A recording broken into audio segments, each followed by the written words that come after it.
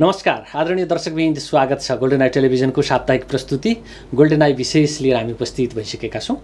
दर्शकबिन यति बेला तपाईँ हाम्रो घर दैलोमा उम्मेदवार राजनीतिक दलका नेता शुभेच्छुकहरू भोट माग्न आइरहनु भएको छ र तपाईँले पनि जजिरहनु भएको छ। पक्कै पनि कसलाई मत दिने कसले हाम्रो अपेक्षा पुरा गर्न सक्छ अथवा हाम्रो पालिकाको अपेक्षा पुरा गर्न सक्छ भनेर ध्यान दिइरहनु भएको छ होला। अथवा हिजो जुन रूपमा मतदान गर्दै आइएको थियो त्यतैपट्टि हो भनेर कन्फर्म पनि गरे आउन सक्नुहुन्छ। जे होस् पाँच वर्षका लागि हामीले नयाँ जनप्रतिनिधि चुन्दैछौँ। हामीलाई शासन गर्ने हुन त लोकतन्त्रमा शासन गर्ने भनिँदैन। यद्यपि शैली त्यस्तै त्यस्तै देखिन्छ। शासक होइन हाम्रो सेवकलाई चयन गर्ने गरी तपाईँले आफूलाई त्यो परिपक्व ढङ्गले ढाल्नुहुनेछ हाम्रो अपेक्षा छ। त्यो निर्वाचन पाँच वर्षका लागि हाम्रो पालिका बनाउनका लागि हाम्रा पूर्वाधार बनाउनका लागि हाम्रो अर्थतन्त्रलाई माथि उकास्नका लागि सहयोग पुग्ने योगदान पुर्याउन सक्ने पात्रलाई तपाईँले रोज्नुहुनेछ। त्यस्ता पात्र झ्याट्ट हेर्दा देखिएन भने उपयुक्त पात्र भएका मध्ये खोज्नुहुनेछ। हामी त्यति भन्न सक्छौँ निर्वाचनको सन्दर्भमा। र आज हामी यो निर्वाचनकै सन्दर्भलाई जोड्दैछौँ। खास गरी पोखरा महानगरपालिका गण्डकी प्रदेशको राजधानी भएको हिसाबले पनि र देशकै एउटा पर्यटकीय राजधानीको रूपमा लिइएको भए पनि कारणले पनि पोखरालाई अलिक विशेष महत्त्वका साथ हेर्ने गरिन्छ। यहाँ मेयरको उम्मेदवारहरू कस्ता कस्ता हुनुहुन्छ भन्ने चासो पनि छ।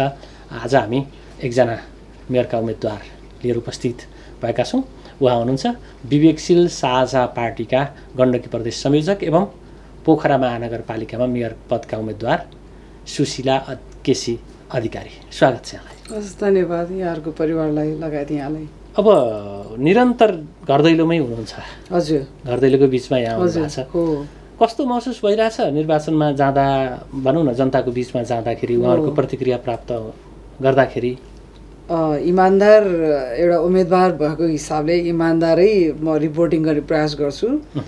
कतिजनाले भन्नुहुन्छ बल्ल एउटा चाहिँ कहाँ हाल्ने भइराखेको थियो?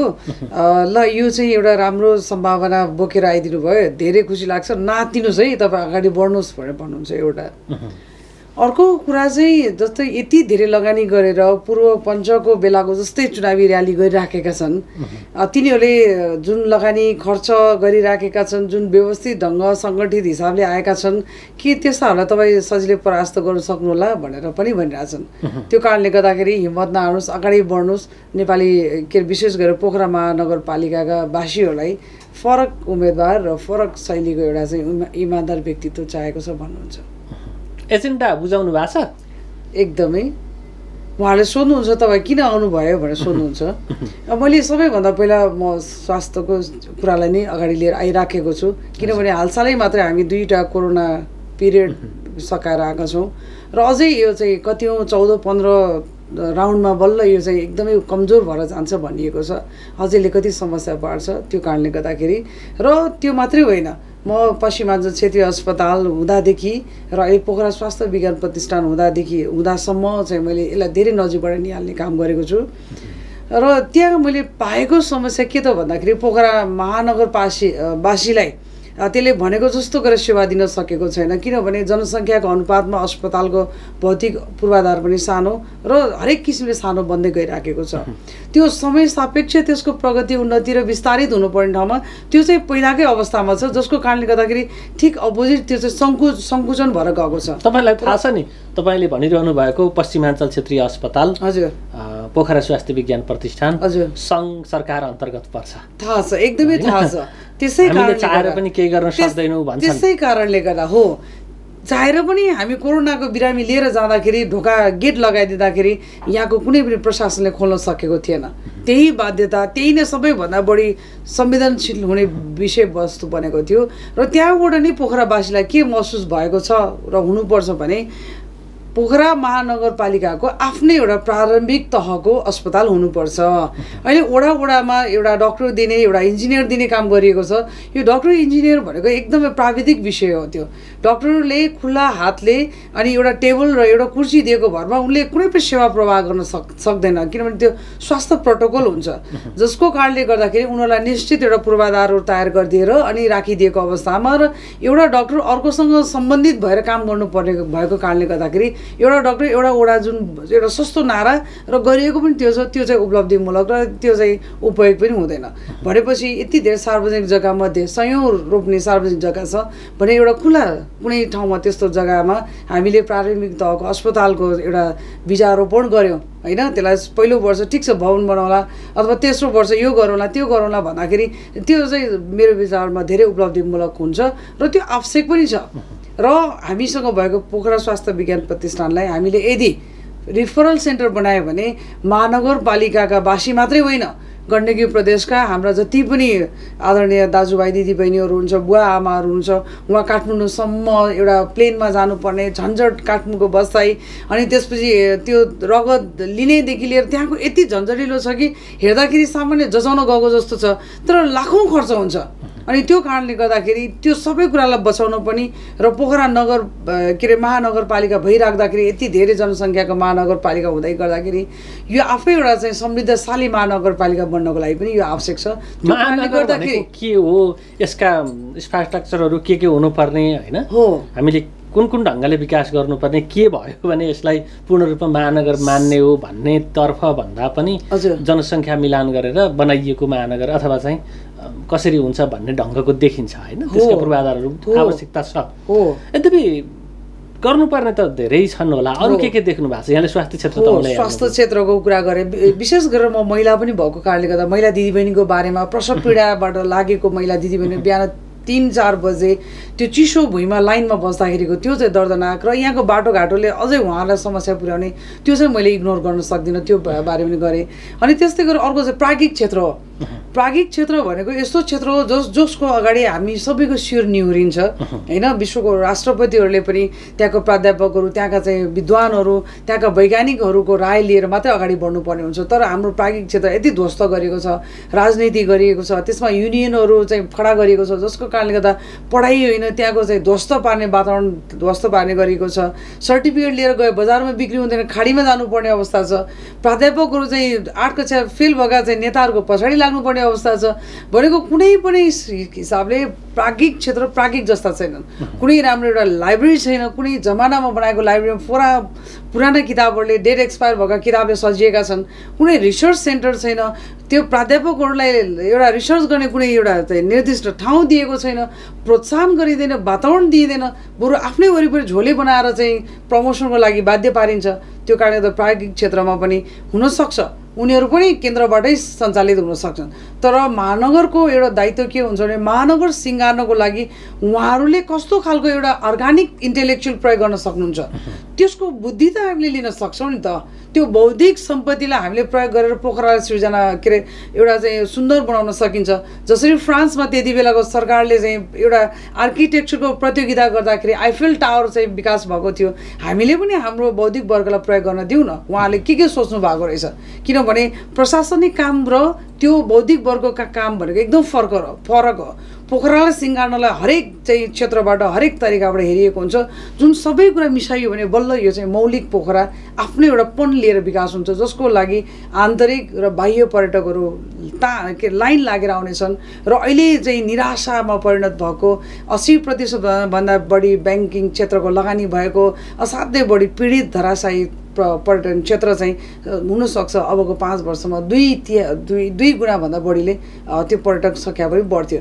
त्यो कारणले गर्दाखेरि यो यसरी शिक्षा क्षेत्र त्योसँग पनि रिलेटेड भएको कारणले गर्दाखेरि मैले शिक्षा क्षेत्र पनि जोड्न चाहेँ।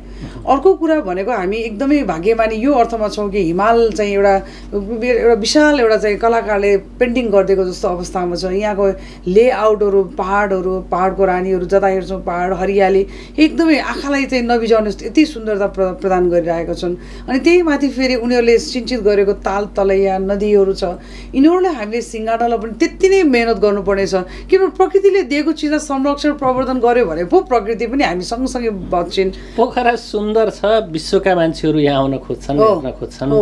त्यो आफ्नो ठाउँमा छ। तर यहाँभित्र प्रवेश गरिसकेपछि त्यो सुन्दर पोखराभित्रका भनौँ न बस पार्कतिर छिर्यो भने हाम्रो के छ हालत भन्ने देखिन्छ? यद्यपि कन्फ्लिक्टहरू छन् प्राकृतिक रूपमा। जस्ता खालका हाम्रा स्वरूप संरचनाहरू। छन् तिनलाई नबिगार दिए पुग्छ भन्ने एउटा।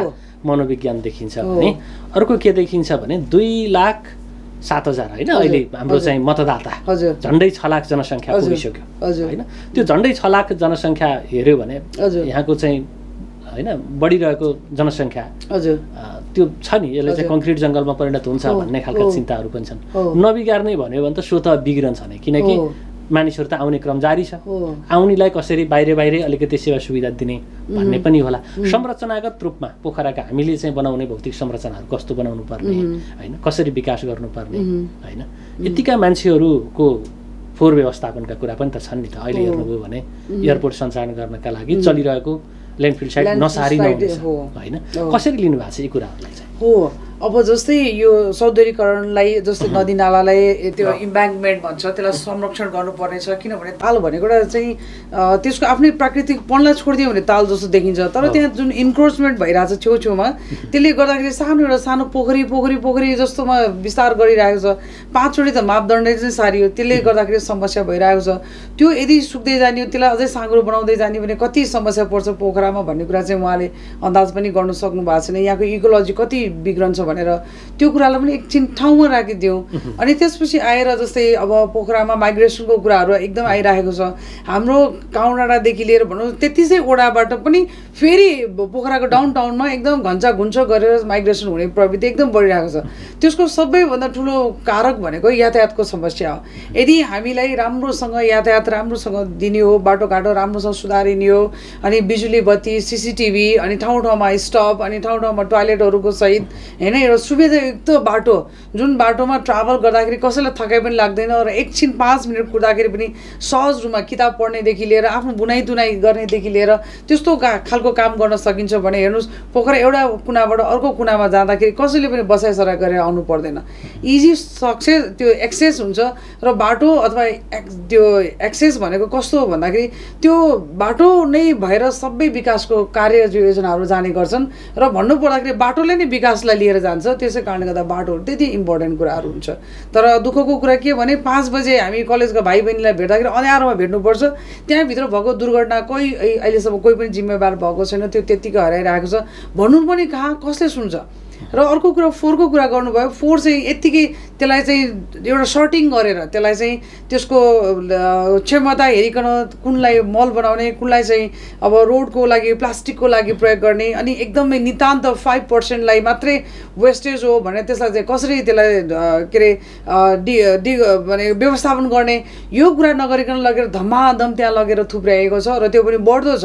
ठिक छ केही त्यसको चाहिँ लिक्विडलाई अलिकति थोरै सुधारेर नदीमा फालिएको छ। तर पनि त्यहाँबाट उडेको चिल कागहरूले होइन त्यो त्योबाट आएको एउटा चाहिँ ग्यासको एउटा प्रदूषणले धेरै नै समस्या परेको छ। एउटा चाहिँ कारण चाहिँ हाम्रो क्षेत्रीय एयरपोर्ट पनि सञ्चालनमा आएको छैन। भनेपछि हामीलाई कस्तो लागिरहेको छ सबै कुरामा?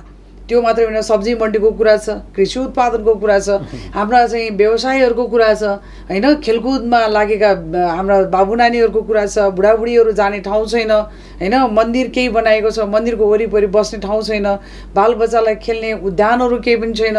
सरकारी स्कुलहरूमा राजनीतिकरण गरेर जुन एउटा चाहिँ शिक्षाको एउटा शिक्षालय जुन पवित्र मन्दिर हो त्यो छैन। यो सबै कुराहरूमा लाग्छ कतै नीतिगत भ्रष्टाचारहरू नै बढी हाबी भएका छन्। आर्थिक त भएकै छन्। समस्याहरू भए। आर्थिक इनामी त भएकै छन्। समस्या देखाउन सजिलो छ। हजुर, होइन समाधानका उपाय बताउन पनि सजिलो होला। हजुर। तर कार्यान्वयनमा ल्याउन चाहिँ अलिक कठिन छ। तपाईँ पोखराको मेयर बन्नुभयो भने। यी विषयलाई सल्टाउनुहुन्छ कसरी? ल सबैभन्दा पहिला सबैभन्दा पहिला पोखरा महानगरपालिका जुन एकदमै भ्रष्टाचारको केन्द्रबिन्दु बनिराखेको छ त्यहाँनिरबाट नै सुरु गर्नुपर्छ। त्यहाँ जुन आर्थिक इनामिना जुन त्यो त्यहाँको त्यो रेभिन्यूमा जुन गिदे नजर लगाइएको छ त्यहाँबाट सुरु गर्नुपर्छ।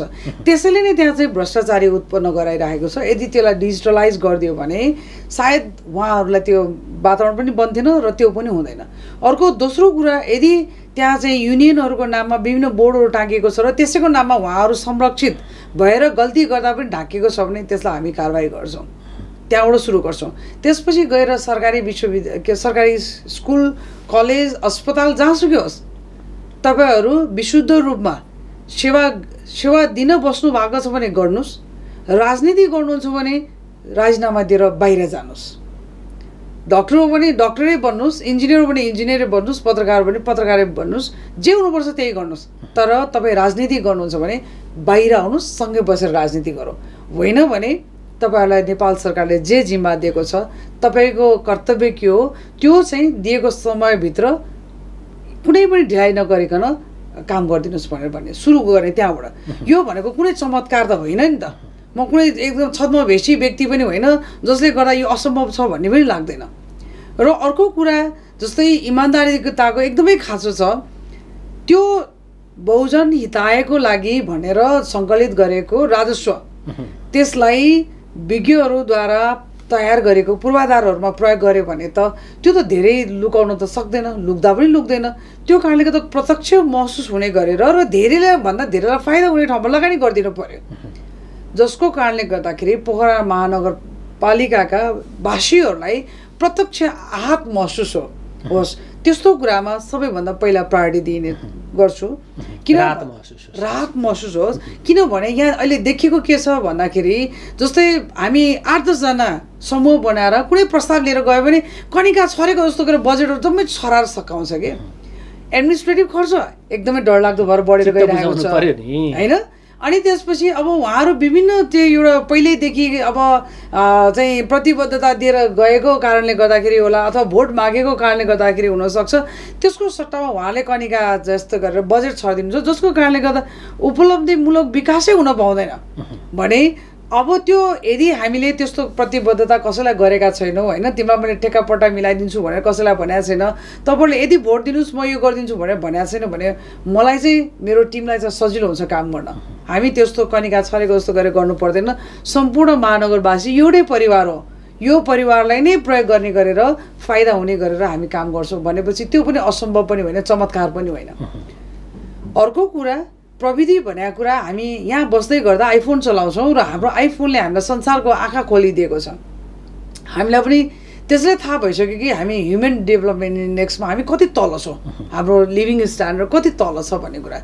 भनेपछि हामीले त्यो प्रविधिहरू जुन नक्कल गर्न योग्य छन् हामी बर्थडे केक मात्रै काट्न नक्कल गरेर भएन नि उहाँहरूको प्रविधिलाई पनि नक्कल गर्नु पऱ्यो आज हामी त्यही गरेर अगाडि बढिरहेको छौँ कि त हामी यहाँको अर्ग्यानिक इन्टेलेक्चुअल्सबाट प्रभावित भएर उहाँहरूलाई लिएर प्रयोग गर्नु पऱ्यो नत्र भने त्यो प्रविधि पनि नक्कल गर्ने र प्रविधि नक्कल गर्ने क्रममा हाम्रो युवाहरूलाई हाम्रो यहाँ भएका दिग्गज व्यक्तित्वहरूलाई साइन्टिस्टहरूलाई प्रा प्राध्यापकहरूलाई सम्बन्धित ठाउँमा गएर त्यो विशेषको त्यो विषयको विशेषज्ञता हासिल गर्न लगाएर फेरि उहाँलाई प्रयोग गर्ने। ताकि त्यो काम गर्दाखेरि जुन विदेशबाट ल्याइ ल्याइएको एक्सपोर्टहरूलाई जुन जाने पैसा छ त्यहाँबाट रोक्ने। अथवा उहाँहरूलाई ल्याएर यहाँ काम गराइन्छ भने एउटा विशेषज्ञ विदेशी विशेषज्ञको पछाडि हाम्रो इन्जिनियरिङ कलेजका विद्यार्थीहरू पछाडि लगाएर र उहाँहरूको ज्ञानलाई ट्रान्सफर गरेर अनि थप पछाडि हामीले अर्को मगाउन नपर्ने गरेर गर्छौँ। किनभने यो एउटा दृष्टान्त छ। जापानमा कुनै पनि बेला रेल थिएन। उहाँले रेल बनाउनलाई बेलायतबाट मान्छे बोलाउनु भयो। तर एउटा इन्जिनियरको पछाडि उहाँले सयजना इन्जिनियर लगाइदिनु भयो आफ्नो स्थानीय। त्यसपछि त्यहाँबाट क्रमिक रूपमा सुधार भएको आखिरमा सिनकान्सेन बुलेट ट्रेन उहाँले आफूले उत्पादन गर्नुभयो। त्यति बेला विदेशका कोही पनि विशेषज्ञ थिएनन्। भनेपछि विदेशी ज्ञान लिने तरिका पनि हामीले त्यही अनुसारको चलाकी तरिकाले अप्नाउनु पर्छ यहाँ हेर्नुहोस् एउटा इन्डियन आएर चाहिँ हाम्रो कुनै पनि सामान सरी यो इन्डियन भन्न आयो। कुनै पनि विदेशबाट आएका चाहिँ विशेषज्ञहरू जुनसुकै सामानहरू बनाउन आओस् उहाँहरूले हाम्रो नेपालीहरूलाई कहिले पनि सिप हस्तान्तरण गर्दै गर्नुहुन्न सकेसम्म हस्तान्तरण नगर्ने उपाय गर्नुहुन्छ। अनि हामी के गर्छौँ? हामी त्यो सिप सिक्नुको साटो हामी बरु खाडीमा जान प्रायोरिटी दिन्छौँ। हाम्रो बुवा आमाले घर धितो राखेर जग्गा जमिन बेचेर विदेशमा पठाउनुहुन्छ र कहिलेकाहीँ त हामी कफिनमा आउन बाध्य पनि छौँ। भनेपछि हेर्नुहोस् यो ठुलो असम्भव कुरा केही पनि छैन। खालि यसमा चाहियो विज्ञहरूको राय सल्लाह चाहियो विभिन्न क्षेत्रका चाहिँ प्रोफेसनलिजमलाई चाहिँ उहाँहरूकै एक्सपर्टिजले आएर सल्लाह दिएर अगाडि बढ्नु पऱ्यो अनि त्यसपछि आएर इमान्दारिता विशेष गरेर जुन हामी भ्रष्टाचारीको जुन टिका यति ठुलो निधारबडी लगाएका छौँ अन्तर्राष्ट्रिय छवि यति नराम्रोसँग बिगारेका छौँ हरियो पासपोर्ट देख्ने बित्तिकै हामीलाई टाउकोदेखि खुट्टासम्म हेर्छ आधा घन्टा उस्तै पऱ्यो इयरबडहरू राखिदिन्छ त्यस्तो छवि जुन बिगार्ने वातावरण यहाँको एउटा भ्रष्टाचार नीति भ्रष्टाचारपणले गरेको छ त्यसलाई हामीले सुधार्न सकिन्छ। र यो सुधार्नको लागि सबैभन्दा ठुलो इमान्दारिता प्रतिबद्धता अठोट नै चाहिन्छ यो चाहिँ मेरो विचारमा मसँग प्रशस्त मात्रामा छ मैले आज यो तपाईँ जब गर्न सक्नुहुन्छ तब तपाईँलाई मत पाउनुहुन्छ जित्नुहुन्छ होइन त्यो जित्नको लागि अगाडि तपाईँले भन्नुभयो नि ठेक्का। पट्टा दिनेहरू धान चामल? धान बाँड्ने तेल? बाँड्ने के के बाँड्नेहरू एउटा पाटो होला। गठबन्धन गरेर बनाएको अर्को पाटो होला। के के के के। छ नि त होइन। जगडिएको कसरी तोड्नुहुन्छ अब यही यही विचारै तोड्छु किनभने हेर्नुहोस् संसारको शक्तिशाली राष्ट्रका राष्ट्रपति प्रधानमन्त्री जति पनि जानु भएको छ उहाँले कुनै पनि धनको खोला बगाएर होइन धान र तेल घर घरमा पुर्याइदिएर पनि होइन खसी के अरे मासुहरूको चाहिँ भतेर लगाएर पनि होइन टाइम लाग्न सक्छ। टाइम लाग्न सक्छ। देखिएको चाहिँ अब तपाईँले प्रमाण लिएर आइज भन्यो भने अलिकति खोज्न गाह्रो होला। किनभने म त्यो त्यो त्यसको पछाडि लाग्ने मसँग समय छैन। तर यहाँले गएर जसरी अहिले स्टुडियोमा मलाई बोलाएर सोधिराख्नु भएको छ त्यस्तै गरेर यहाँहरूको क्यामेरा लिएर सम्बन्धित ठाउँमा जानुभयो भने तपाईँ आफैले खुद चाहिँ उल्टो प्रसाद ग्रहण गरेर आउनु पाउने हुनुहुन्छ। त्यस्तो लाग्छ। त्यो कारणले गर्दाखेरि ठिक छ। पञ्चायतको का पालामा जुन भइराखेको एउटा चुनावी र्याली जुन एउटा तडक भडक सहितको घर जग्गा बेचेर जुन एउटा प्रतिस्पर्धामा आउनुहुन्थ्यो र उहाँले सलक्क एउटा भोट जितेर होइन एउटा नेतृत्व गर्ने अवस्था थियो भने अहिले पनि लगभग झन्डै उस्तै छ। गणतन्त्र आउनुभन्दा अगाडि र के अरे अगाडि र पछाडिमा केही पनि फरक छैन चुनावी शैलीमा। खालि केही होला मूल्यहरू फरक होलान् पात्रहरू फरक होलान् त्यति बेलाको चाहिँ पार्टीलेस र अहिले मल्टी पार्टी होला अरू केही पनि फरक छैन। त्यसो भन्दै गर्दाखेरि यदि हामी हाम्रो कम्फर्ट जोनबाट बाहिर आएनौँ बोलेनौँ गरेनौँ प्रयास गरेनौँ भने कसले तोड्ने त? के सधैँ त्यस्तै हुन दिने त? कसरी तोड्नुहुन्छ? हो यसरी नै। हामी यसरी नै हाम्रो आवाज राख्छौँ।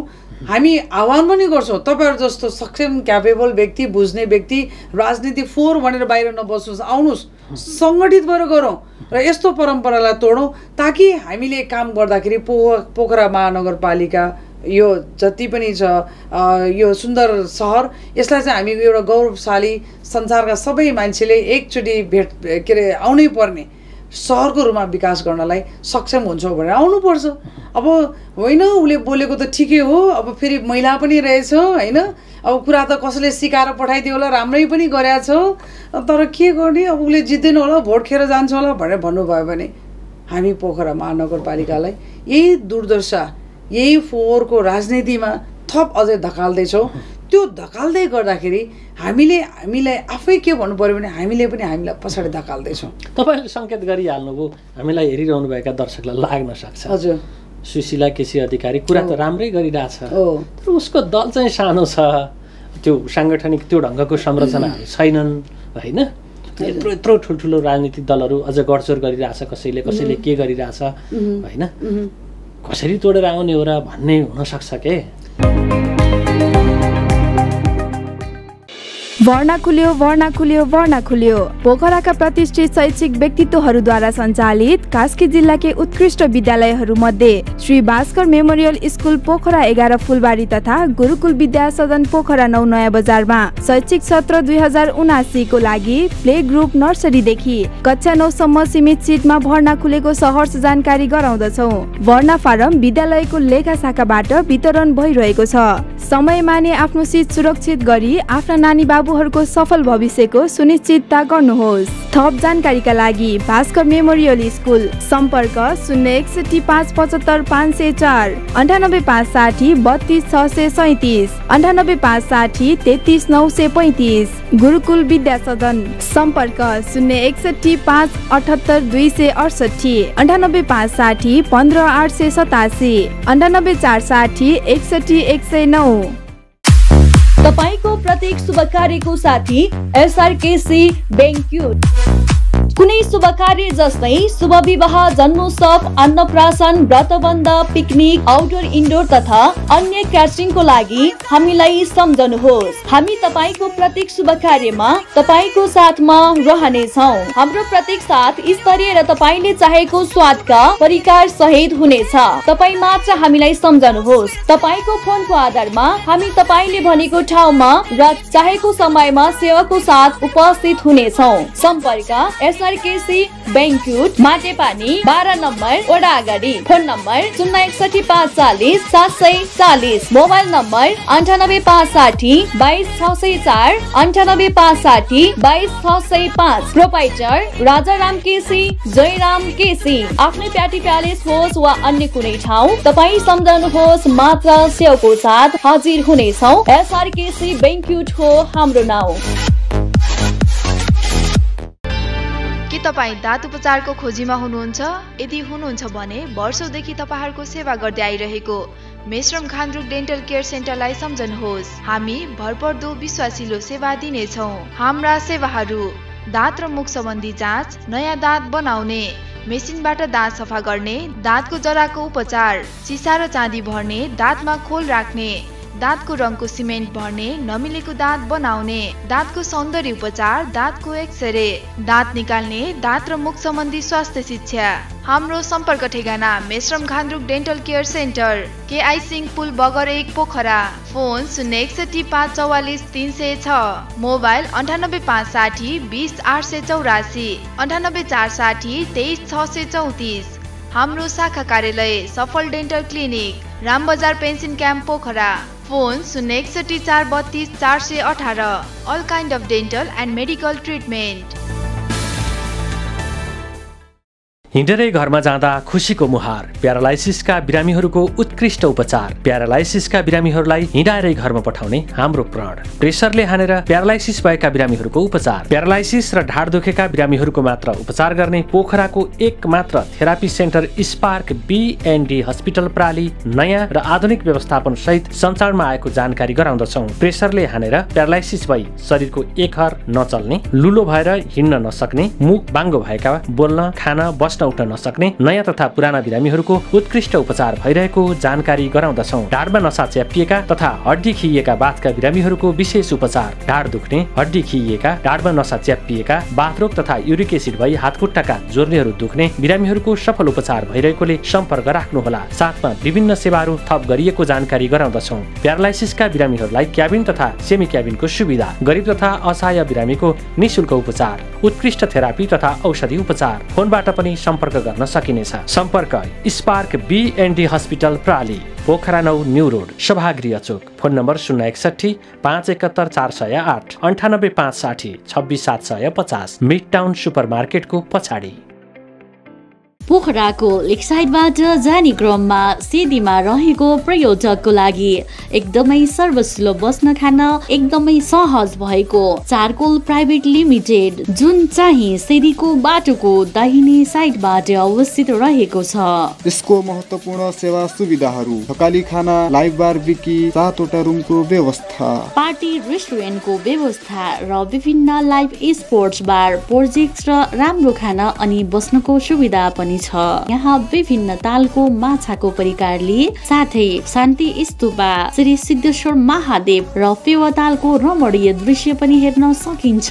एकचोटि हजुरहरू पनि यो होटेलमा गएर स्वागत गर्ने अवसर अवश्य दिनुहोला। सम्पर्क होटेल चारकोल प्राली सेरी पोखरा अठार सम्पर्क नम्बर अन्ठानब्बे चार उनसत्तरी जिरो बयालिस अठाइस बयालिस जिरो जिरो छ छ। प्रोपाइटर प्रदीप गुरुङ सलेस महर्जन दिजेश वाग्ले म्याक्सको म्याक्सिमम अफर म्याक्स नेट टिभीमा एक सय पचास भन्दा बढी एचडी च्यानलहरू high speed internet hundred Mbps सम्मको सुविधा। अब सातै प्रदेशमा। अबको कनेक्सन म्याक्स नेट सोल्युसन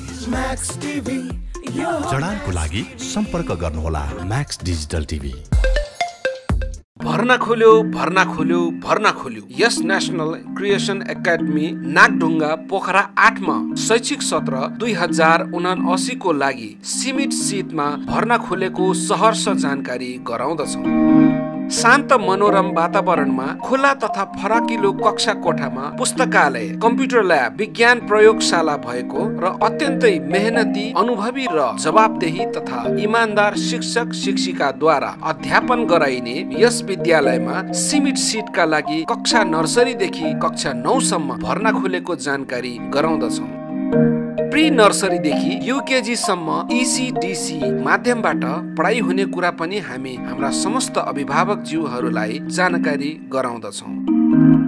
सम्पर्क national creation academy Nagdhunga Pokhara आठ। फोन शून्य एकसठी पाँच सैतिस आठ सय पैँसठी अन्ठानब्बे पाँच साठी छत्तिस चार सय एकासी अन्ठानब्बे शून्य सतासी चौन्न पाँच सय अन्ठानब्बे। भर्ना खुल्यो भर्ना खुल्यो भर्ना खुल्यो। सार्थक शिक्षाको गन्तव्य। नेपाल आदर्श आवासीय विद्यालय शैक्षिक सत्र दुई हजार उनासीका लागि नेपाल आदर्श आवासीय विद्यालय भराडी कास्कीमा कक्षा नर्सरीदेखि कक्षा नौसम्म सीमित सिटका लागि नयाँ भर्ना खुल्यो। नेपाल आदर्श आवासीय विद्यालयका महत्त्वपूर्ण शैक्षिक उपलब्धिहरू। शैक्षिक तथा भौतिक मूल्याङ्कनको आधारमा क वर्गमा सूचीकृत विद्यालय। शैक्षिक मूल्याङ्कनको आधारमा एसएलसी एसई कक्षा एघार र बाह्र व्यवस्थापन संकायमा लेखनाथ तथा कास्कीमा उत्कृष्ट हुन सफल। खेलकुदका विभिन्न विधाहरूमा राष्ट्रिय स्तरमै दर्जनौ पटक सफलता हासिल गरी पदक प्राप्त गर्न सफल विद्यालय। पौडी पोखरी अन्तर्राष्ट्रिय मापदण्डको फुटबल मैदान सहित सन्ताउन्न रोपनी क्षेत्रफलमा विस्तारित गण्डकी प्रदेशको निजी विद्यालय। विद्यार्थीहरूका लागि आवासीय सुविधा भएको। समय सापेक्ष विज्ञहरूद्वारा विद्यार्थी शिक्षक एवं अभिभावकलाई अभिमुखीकरण तालिमको व्यवस्था। पाठ्यक्रमको साँघु र घेराभित्र मात्र सीमित नराखी अतिरिक्त क्रियाकलापमा पनि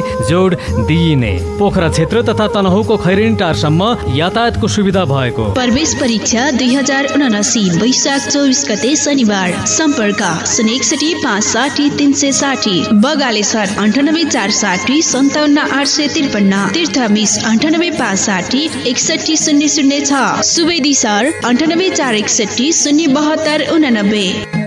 पोखरा महानगरपालिका वडा नम्बर सत्र हिमाली टोलमा अवस्थित यस वडाकै सबैभन्दा पुरानो संस्थागत विद्यालय शान्ति निकुञ्ज बोर्डिङ सेकेन्डरी स्कुलमा यस शैक्षिक सत्र दुई हजार उनासीको लागि कक्षा नर्सरीदेखि कक्षा नौसम्म सीमित सिटका लागि नयाँ भर्ना कार्यक्रम सञ्चालन भइरहेको बेहोरा सम्पूर्ण विद्यार्थी एवं अभिभावकजीहरूमा सहस्त्र जानकारी गराउँदछौँ। नयाँ विद्यार्थी भर्नाका लागि फारम वितरण भइरहेको छ। लिखित एवं अन्तर्वार्ताका आधारमा भर्ना लिइनेछ। हाम्रा विशेषताहरू। नर्सरीदेखि कक्षा दुईसम्म सेमी मन्टेश्वरी माध्यमबाट महिला शिक्षक शिक्षिकाहरूद्वारा ग्रेड टिचिङ गरिने अनुभवी तथा दक्ष शिक्षक शिक्षिकाहरूद्वारा अध्यापन स्वच्छ तथा मनोरम वातावरणमा अध्ययन अध्यापन बालमैत्री शिक्षक सिकाइ पुस्तकालय तथा विज्ञान प्रयोगशालाको उचित व्यवस्थापन पोखराको अधिकांश स्थानमा स्कुल बसको सुविधा शैक्षिक सत्र दुई हजार सतसठीदेखि व्यवस्थापन विषयमा प्लस टू कक्षा सञ्चालन विस्तृत जानकारीका लागि विद्यालयमा सम्पर्क गर्नुहोला। सम्पर्क नम्बर शून्य एकसठी चार सतसठी शून्य अठासी शून्य एकसठी चार साठी चार सय छयासी अन्ठानब्बे पाँच साठी अडतिस आठ सय पचहत्तर. कसरी तोडेर आउने हो र भन्ने हुनसक्छ के? सबैभन्दा सजिलो मलाई छ किनभने मेरो ठुलो पार्टी ठुलो दल होइन र धेरै कार्यकर्ता पाल्नु पनि पर्दैन र मैले चाहिँ दलीय भागभन्डा मिलाउनु पनि पर्दैन र मेरो पर्छ पाल्न? पार्दै पर्दैन। मेरो पार्टी अथवा विवेकशील साझा पार्टीले सबैभन्दा पहिला के भन्ने गर्छ भने बिना जागिर बिना उद्यम तिमी पार्टीको सदस्य नै नबन। र यदि कदम कदादि कोही आयो भने हामीसँग उद्यमशील विभाग छ जसले गर्दा उसलाई एकदमै छिटोभन्दा छिटो जागिरमा जाऊ भनेर भन्छ। त्यो कारणले गर्दाखेरि हामीसँग त्यस्तो व्यक्ति हुनुहुन्न जो जागिरै खानु भएको छैन। र अर्को कुरा जस्तै म यहाँ आइराख्दाखेरि म एक्लै आइराखेको छु भने मसँग यदि मेरो सँगै अरू उम्मेदवार हुनुहुन्थ्यो भने साथी स्टुडियोभरि राखिन्थ्यो होला। आज बिहान म एउटा स्टुडियोमा गएको थिएँ। उहाँको कार्यकर्ताहरूले यस्तो पहरा दिइराख्नु भएको थियो। लाग्दै थियो उहाँ चाहिँ ठुलै एउटा चाहिँ मैदानबाट आउनु भएको छ र उहाँका चाहिँ विरोधीहरू धेरै छन् जस्तो देखिएको थियो। यो पनि तपाईँहरूले एउटा उदाहरण देख्न सक्नुहुन्छ। म आफै ड्राइभ गरेर सबै ठाउँ पुगिरहेको छु। मलाई कुनै त्यस्तो चाहिँ समस्या छैन। अर्को कुरा पोखरा महानगरपालिका चलाउने भनेको दलले होइन एउटा सक्षम व्यक्तिले हो। त्यो सक्षम व्यक्ति त्यहाँ पुगेपछि उसको विचारले उसको विवेकले उसको दृढताले उसको इमान्दारिताले चलाउने हो। त्यो कारणले गर्दाखेरि स्रोत साधन त्यो ढङ्गको छैन। प्रदेशबाट माग्नुपर्छ केन्द्रबाट माग्नुपर्छ होइन? त्यहाँनिर पहुँच पुर्याउनुपर्छ ती राजनीतिक दलहरू जसले त्यहाँ शासन गरिरहेका छन्। त्यो भयो भने सजिलो हुन्छ भन्ने तर्क गरिन्छ। त्यस्तो गराइएको हो त्यो त्यो भाष्य चाहिँ सिकाइएको कि हामीलाई नै त्यस्तो परेछ कि? हामी माग्ने हो चोर्ने हो ठग्ने हो होइन? लाइब्रेरीमा किताब देखेपछि नेपालीको रोग भनेको चोर्ने हो भनेर हामीलाई बनाइएको छ र हामी त्यस्तै बन्ने पनि प्रयास गरिरहेछौँ पोखरा महानगरपालिका भनेको आफै एउटा सक्षम न महानगरपालिका हो जसले अहिले उठिरहेको जुन चर्को करलाई बरु वैज्ञानिकताको आधारमा त्यसलाई के अरे एउटा विशिष्टीकरण गरेर अनि यसको चाहिँ क्षेत्रफल अझै विस्तार गरेर सम्भावित करहरू कहाँबाट आउन सक्छन् यसको चाहिँ क्षेत्र बढाउनु पर्यो। अब क्षेत्र बढाउनु पर्छ भन्दैमा अहिले सीमित एउटा व्यवसायीहरूलाई मात्रै घाँटी अठाउने गरी लगाइएको चाहिँ कर चाहिँ भन्न खोजे होइन। बरु त्यो करलाई पनि सहजीकरण र सहुलियतीकरण गर्नुपर्छ। किनभने जसले व्यवसाय गरेर केही दुई पैसा राज्यलाई दिन्छु भनिरहेको छ उनीहरूलाई मात्रै घाँटी अठाउनु हुँदैन। अर्को कुरा रोजगारी यति धेरै विस्तार गरिनुपर्छ कि उद्यम व्यवसायीलाई यति धेरै प्रस्फुटन गरिनुपर्छ यति धेरै सहुलियत दिनुपर्छ कि स्वरोजगारीदेखि लिएर उद्यमीदेखि लिएर त्यसलाई बढाउनुपर्छ र करको दायरा अझै होइन दायरा भन्दा पनि क्षेत्र विस्तार गरिनुपर्छ। यी सबै गरियो भने मेरो विचारमा धेरै हामी चाहिँ आफै आफै स्वचालित र आफै सक्षम महानगरपालिका बनाउन सकिन्छ। जस्तै यो कुरा कसरी असम्भव हुन्न भने कुनै बेला त्यस तेल बेचेर मात्रै चलेका देशहरू अहिले तेलै बेच्नु नपरिकन पर्यटकीय देश भनेर चलिरहेका छन् नि त। भनेपछि हामीले त्यसमा गर्न पर्ने तरिकाहरू फरक गऱ्यो भने त्यही चिज फरक ढङ्ग भएर आउँछ। हामीलाई यस्तो समस्या हुन कि हामी चाहिँ सङ्घसँग प्रदेशसँग पैसा मागेर फेरि हामी अर्को मगन्ते चाहिँ एउटा भेष लगाएर पोखरा महानगरपालिकालाई मैले पैसा नभएर बनाउन सकिनँ भनेर रुनुपर्ने अवस्था चाहिँ आउँछ जस्तो लाग्दैन। सुशीला केसी अधिकारी व्यक्तिगत रूपमा शिक्षा क्षेत्रबाट आएको हजुर। होइन? शिक्षा। क्षेत्रमा योगदान दिएको। राजनीतिमा नवप्रवेशी नवप्रवेशी जस्तै उसलाई दोष लगाउने ठाउँ। व्यक्तिगत रूपमा छैन। होइन? तर ऊ आबद्ध भएको राजनीतिक दल। हजुर। विवेकशील साझा पार्टी त्यति लामो समय त यसको इतिहास भएको छैन। हो। यद्यपि यसका चाहिँ उतार चढावहरू हेर्नुभयो भने उम्, उस्तै त हो नि त्यही पार्टीको क्यान्डिडेट हो भन्ने स्थितिमा त पुगिसक्यो क्यारा। ठिकै हो। यो प्रश्न उठाइदिएर अझै बढी मलाई सजिलो बनाइदिनु भयो। हामीले कुनै पनि बिरुवा रोप्दाखेरि पहिला चाहिँ यसै छरिराखेका हुन्छन् छर्दाखेरि विभिन्न खालको उम्रिन्छ सबै थरी उम्रिन्छ चाहिने पनि नचाहिने पनि सबै उम्रिन्छ तर अन्तत त त्यसलाई त गोड्नु त पर्यो। र राम्रो फलदायी बिरुवालाई मात्रै राखेर अरू सबैलाई त गोडमेल गरेर फाल्नै पर्छ।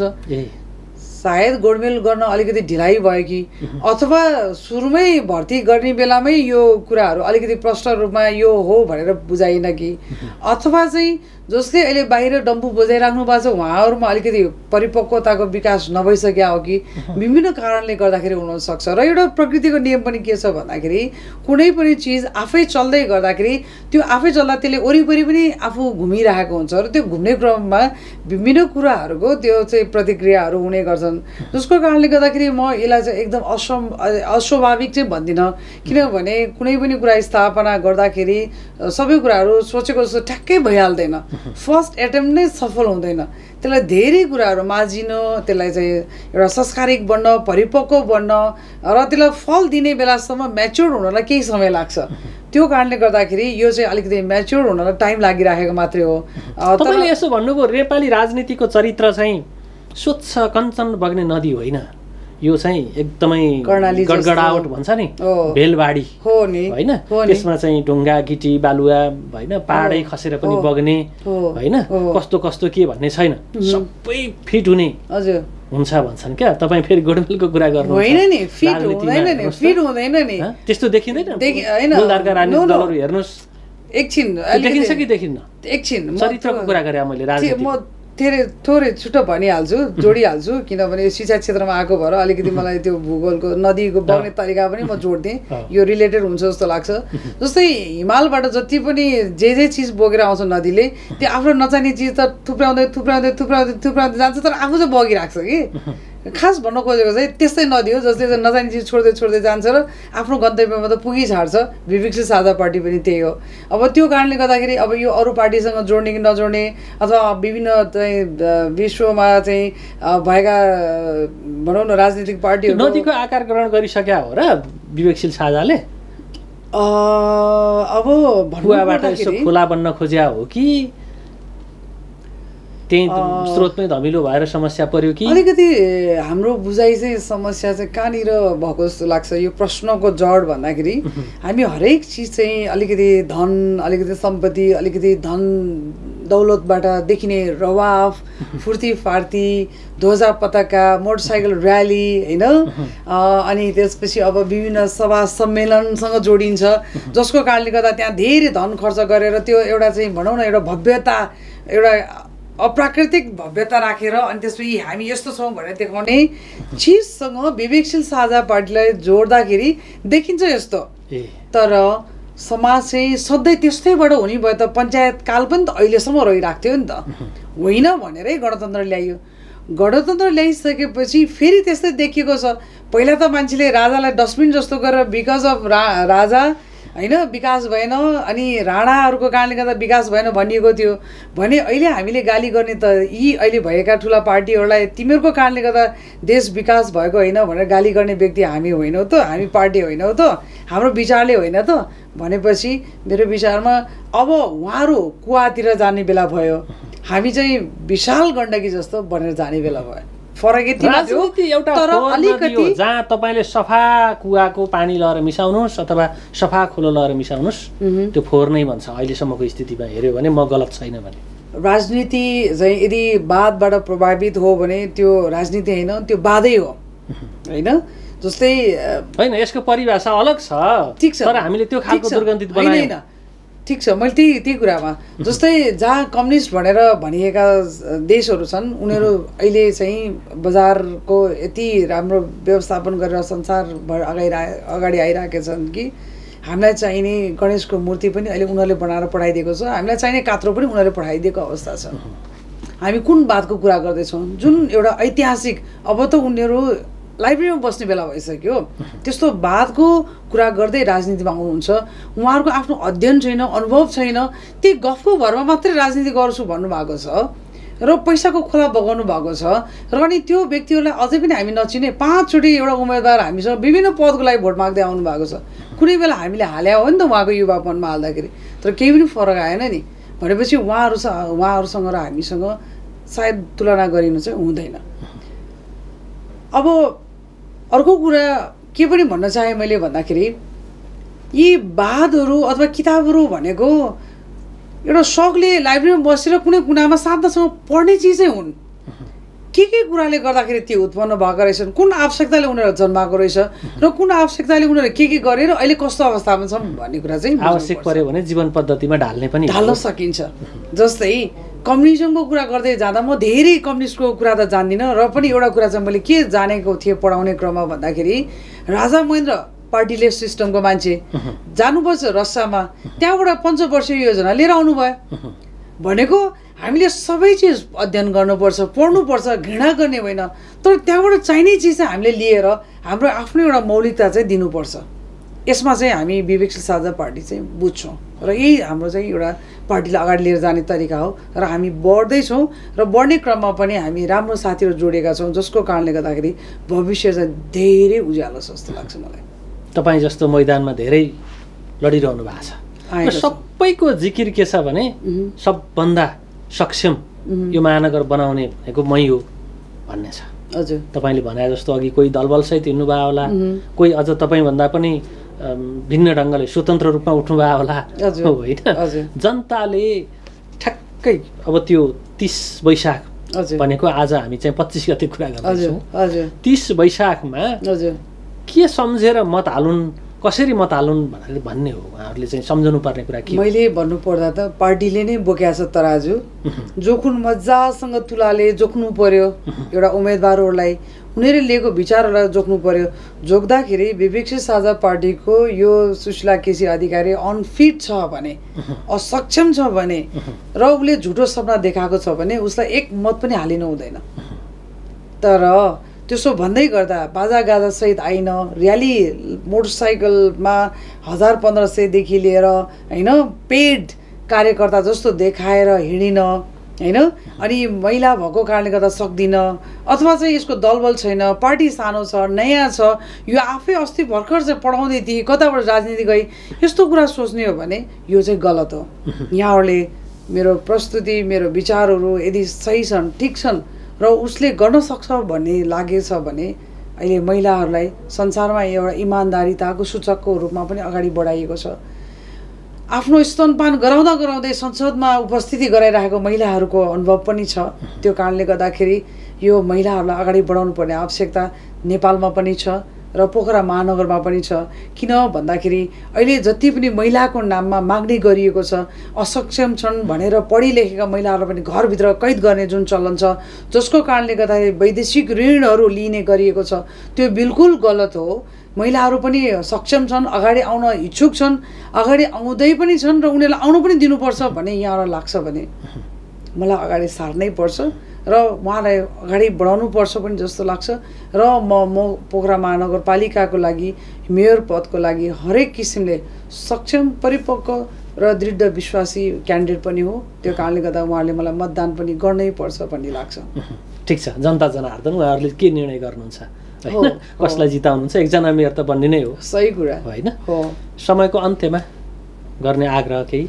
हो मैले यहाँहरू सबैलाई जसको घर दैलोमा म पुग्न सकेको छैन जसलाई मैले योभन्दा अगाडि धेरै पहिलादेखि राजनीति गरेको हो भनेर भनेको छैन र मैले चाहिँ जेल नेल भोगेको छैन भनेर भन् भन्ने भनेर भन्दै गर्दाखेरि ती राजनीति गर्ने आधार होइनन्।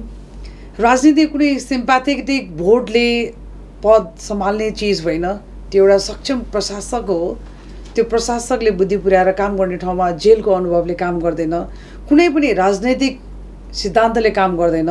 यदि यहाँलाई लाग्छ भने म विवेकशील साझा पार्टीबाट सुशीला केसी अधिकारी तराजु चिन्ह लिएर उपस्थित भएको छु।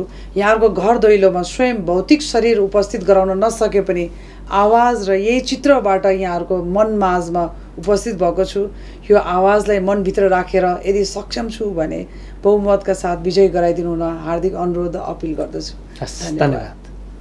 आदरणीय दर्शकवृन्द आजको विषयमा हामीले कुराकानी गरौँ। विवेकशील साझा पार्टीका गण्डकी प्रदेश संयोजक एवं पोखरा महानगरपालिकामा सो पार्टीबाट मेयर पदका उम्मेद्वार सुशीला केसी अधिकारीसँग कुराकानी तपाईँले हेरिसक्नु भएको छ। तिनजेलसम्म हामीलाई हेरिदिनु भयो तपाईँ सम्पूर्ण दर्शकप्रति विशेष आभार प्रकट गर्छु र हाम्रो सम्पूर्ण युनिटका साथ मलाई पनि आज्ञा दिनुहोस्।